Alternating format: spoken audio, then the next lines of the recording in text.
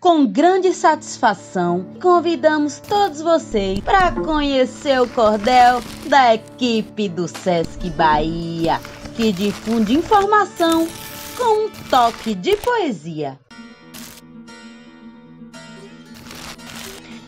Valorize sempre a vida. Não vá para água chapado. É melhor se precaver. Banhista, tenha cuidado. E quando da praia voltar, pra alegria continuar, não dirige embriagado. Surpresas chatas tu pode evitar. Descanse o corpo e a mente. Durma cedo e acorde cedo. Viaje tranquilo e sem afobação. Beba água à vontade, mas verifique se é potável. E se for para o campo, leve proteção. Roupas adequadas e repelentes não podem faltar. Não queira se descuidar da alimentação.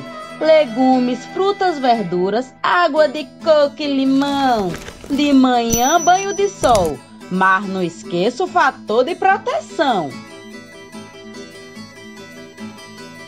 Ao viajar sozinho ou com um familiar, Mantenha o distanciamento, nada de fazer festança.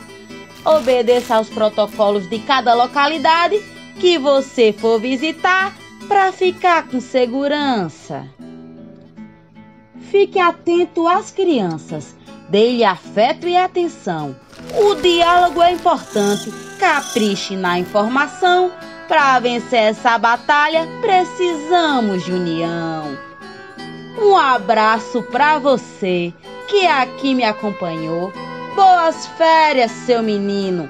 Ficando em casa ou viajando, de todo jeito é muito bom. Até breve, já me vou. Bata palma e se alegre, se você então gostou.